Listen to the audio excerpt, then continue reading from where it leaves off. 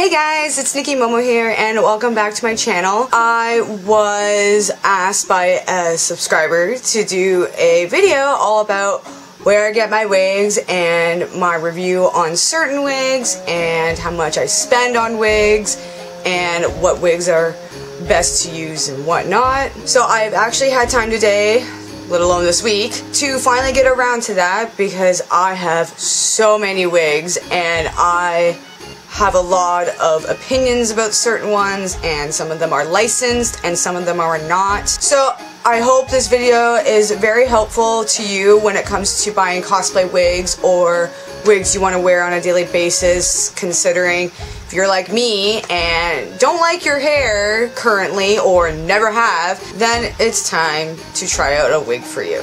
When it comes to buying wigs, you better figure out your price points and where to get certain type of wigs. Most of my wigs that I currently own have been bought on eBay. I will not be doing all of my wigs. I'm only going to be doing some that were not good, some that are really, really good for their price point, and some licensed wigs to help you out in case you want to stay away from eBay, which I understand considering that I've had a few failures over the years when it comes to wigs on eBay. I will be providing pictures to show what uh, wigs I own and what I saw on the internet to get me to buy the wig because I will admit pictures can be deceiving when it comes to purchasing things online. So for the first wig that we're going to be sharing is the pink one I am currently wearing, which is one of my favorites considering the bangs are perfectly cut by me and styled the way I wanted them to be styled. I'm gonna say this wig uh, was roughly between $20 $22 with free shipping. This was a wig for Supersonico, but since I haven't even started on making any Supersonico cosplays, uh, the downside of these wigs when you get them synthetically, uh, especially long ones, they get matted quite easily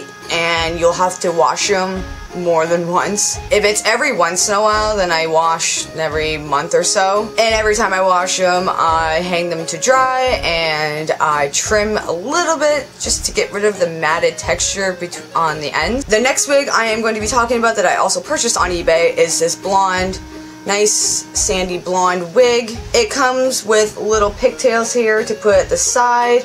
I made an accidental purchase uh, a few years ago and it was a costume that I was trying to see what the price was overall but then my computer lagged and automatically made it go through so I ended up buying the costume so I didn't want a costume to go to waste so I bought uh, the wig for it and did a shoot in it and I've had a few of my friends wear the wig it's pretty nice. I bought it between, I think, 22 to $25 with free shipping. I've cleaned it once and it's not very matted. And the pigtails have stayed in shape, which is amazing because sometimes when you wash synthetic wigs, in lukewarm water, it can get rid of the curl, so always wash it in cold. The next wig we're going to be talking about, it is one of my personal favorite wigs.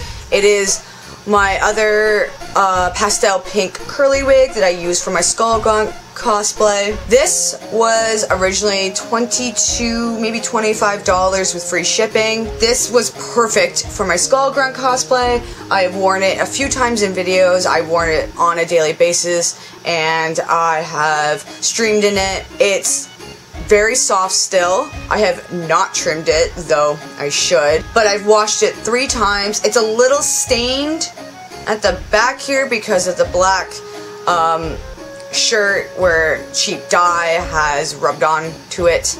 And it still has its shape, the wavy shape to it, which I was scared to uh, lose after watching it a few times. Another wig that is also my personal favorite that I bought on eBay is this nice platinum blonde wig that I bought for my Gwenom cosplay. Um, it actually had longer bangs and I trimmed it to a straight cut because of Gwenom's hairstyle. I've washed this three or four times since I've had it. It's still soft and the ends needs a little trim, but it didn't get matted um, quite as quickly as the other wigs I have shown you. And another wig I am going to be recommending is this one right here. It's a little bit messy because um, it's been stuffed up in my dresser for a while. It is my D.Va wig that I bought for about $25 off of eBay. It gets matted very easily because it's super long. Uh, tip here, if you're gonna buy a wig on eBay, this is just my personal preference. If you're going to buy a short wig and you don't want to spend an arm or leg for, eBay is perfect. Synthetic wigs, when they're short, like over the shoulder, they don't get as matted as easily as long ones, and they're easy to maintain and take care of, so I recommend eBay 100% to get really short wigs. But for long wigs, you may consider somewhere else or eBay if you're not really going to be savoring the cosplay, but uh, I got this one for the D.Va cosplays that I own, and I may use it to, you know, shorten it for another cosplay in the future, because I can see myself wearing this more than once. And my last wig, I'm going to give you an example of what I was just talking about. This is my short Mad Moxxi wig that I bought, uh, I believe, the beginning of last year when I was finishing making it. It is short, it goes up to here, maybe just slightly above the shoulder. This is actually uh, being sold on eBay as Yuna's wig from Final Fantasy X, but it's the perfect wig for Mad Moxxi minus the fact I can't curl it upwards, but it's perfect as Mad Moxxi. It has never been matted, it never gets tangled. I've washed it three times just because I want it to look perfect for Mad Moxxi. Um, the bangs are perfect. I've trimmed a little bit of the bangs, like always, just to get uh, the, the perfect look. This was literally like $18 with free shipping. And now I'm going to show you the bad ones. Now, I did a video a few months ago about which suits I ordered from the Flash series and it was either did I get the Flash or did I get Zoom, and in the video I got the Zoom suit because it looked really awesome. Anyway, I got my cosplay wig for it, and I ordered a silver, a long, wavy silver hair to match the suit. I raved in the video on how perfect it is and how I'm in love with it, and I think it's the most amazing silver wig I've ever owned. Turns out, I ordered a wig recently and it finally came in yesterday and it was a green wig that was very similar to that and I wanted to wear this wig on a daily basis because I'm starting to go into the pastel look for spring. I don't know why, it's just it's my guilty pleasure colors, all the pastels in the world.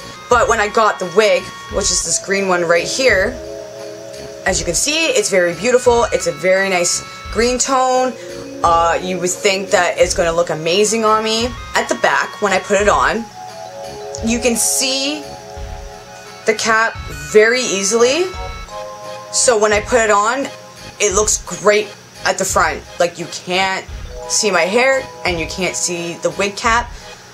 But when you put this on and then you look behind it, you can see all the layers. And I was so upset because it was the same company that I bought my silver wig for Zoom. So I grabbed my silver wig and I put it back on and it showed all the layers as well at the back.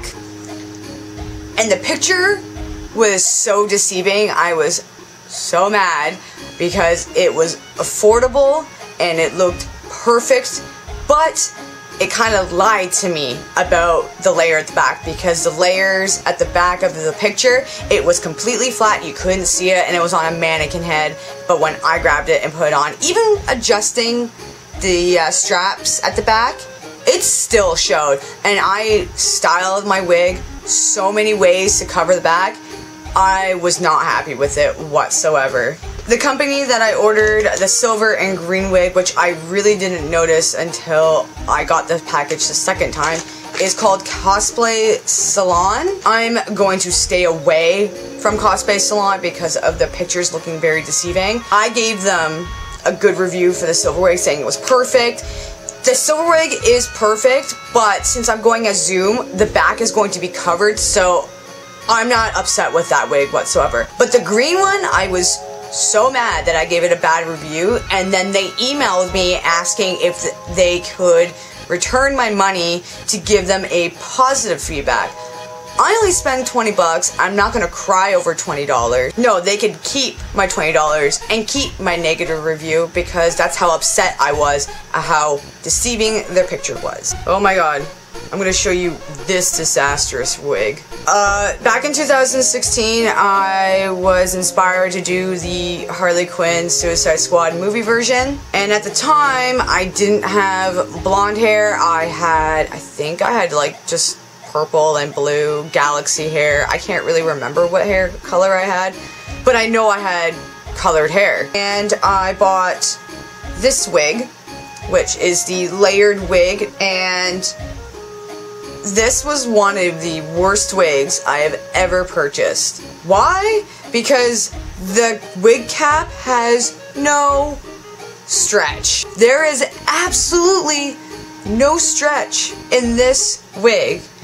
I don't know why there was no stretch. There should have been a stretch in this wig cap. Because the first 20 minutes of wearing this, after making my cosplay, I had a killer headache. And then I decided to wear the cosplay for three to four hours. I was so mad because I spent $30 on this wig and I got no satisfaction out of it. I wore it once to a con and I promised myself I am never going to wear this wig again to another con. I don't know why I still have it. I think I'm going to keep it for a little bit longer to do a shoot for Patreon, but other than that, it's gonna go in the garbage soon. So I recommend you guys not to buy this wig if you decide to do the movie version of Harley Quinn from the Suicide Squad. Now we are gonna be talking about licensed wigs. These wigs are strictly off of eBay and they're a bit more pricey than the ones I was recently talking about. I don't have a lot of licensed wigs, so this is gonna be a short part, but I eventually want to buy uh, licensed wig from other places that I've been starting to following on like social media. So this one is a platinum blonde with a slight wave to it. I adore this wig. I got this wig from Arda.ca. Uh, make sure is .ca for Canadians and com is for the Americans. They're, they actually have two websites. This was about $50. Um, I'm not saying it was a waste of money. This was a, one of the best purchase I've made when it comes to wigs. Um, I didn't have to trim it and I didn't have to style it. I used this for my Killer Frost idea for Patreon and possibly uh, an outfit for the future. I've worn this wig uh, quite a few times outside the house. I have worn it a few times on my streams. I still need to trim the ends of this wig. Um, I just recently washed all my wigs. I still haven't trimmed them, that's why. Um, the downside of this purchase was the shipping is kind of ridiculous, so the best way to um, uh, get a really good uh, low ship thing is if you uh, you band a group of friends and reduce the cost of shipping. Got this wig because uh, one of my friends was doing a big bulk uh, purchase and she didn't want to spend the amount of shipping so we all band together and just bought $50 wigs and the shipping was like two bucks literally. The last wig I'm going to be talking about, this wig is quite old. I think it's slowly falling apart which I'm not surprised. Um, it's another blonde wig. It's my little short bob wig. It's short at the back, so right above the uh, shoulder area and the, the neck, and then it's got long pieces at the side here, which I love, and then it's got little like little bangs at the front. Uh, I bought this, oh, bag probably 2013, 12, 13. Uh, this was also 40 $45. Um, I wore this when I made my very first um, Flareon cosplay, like Polka fan Flareon. It's still really soft. I've washed it quite a few times over the years, and now I'm noticing it's starting to fall apart at the back. Uh, this was made by Geisha Wigs, but now they're called Lush Wigs, and they're affordable. Uh, depending what style you want. Um, I think their wigs are between 29, last time I checked, uh, 29 41 45 uh, 45 in pounds uh, which is roughly like between uh, 50 to like 80 dollars in Canadian that's that's quite a lot. I still recommend them. I have not bought a wig uh, since I bought this one, but I've been actually looking at the newer wigs lately, and there's quite a few that I want, but like from the price range I just told you about, it's not going to be for a while. But I do intend to do another purchase to them in the future. So that is majority of my wigs that I have. I have a few more, but they're not really worth the show to be brutally honest. The rest of them are also from eBay and they're also from the same price range so there's not really much I can go on. If you are going to look for a cosplay wig that you want to wear on a daily basis, I don't think eBay would be good for you. I think you should try licensed wig companies considering they make better quality wigs to use on a daily basis. If I had to recommend you links to uh, wigs that you want to wear on a daily basis or for fashion, uh, I strongly recommend Gothic Lolita uh, wigs or um, Lush wigs. I'd say Arda wigs, but Arda wigs is more for cosplays and whatnot. If you guys are looking for shorter wigs that are slightly above the shoulder or between the neck area and the jaw, I recommend the ones from eBay. They don't get matted easily like the long wigs that you see online. I don't know, that's just my personal preference. I wouldn't say don't ever shop on eBay for long wigs. For eBay, I think spending between 15 to $25 is very reasonable. $30 depending on the length of the cosplay, then go for it. I think anything that's $35 and up for wigs on eBay is a little ridiculous. I, I, don't trust it. You never know what you're gonna get when it comes to things like that. I rather spend my $35 and up on the licensed wigs that I mentioned before, like Lush wigs and Gothic Lolita wigs. I heard AliExpress or AliExpress is uh, starting to step up their game on uh, selling wigs in better conditions like they did before. So yeah, I hope this video was helpful to know what wigs are affordable and what's best to go for than the other. I hope the recommended websites I have offered to you would be also helpful and if you're interested in looking at those websites. Uh, the links are down below in the description box. I like to do a clarification that I am not being paid to promote those websites. Those are strictly just what I would recommend as a consumer. If you guys like this video of cosplay wigs, what to buy and what not to buy and thought it was useful, please give this video a nice like.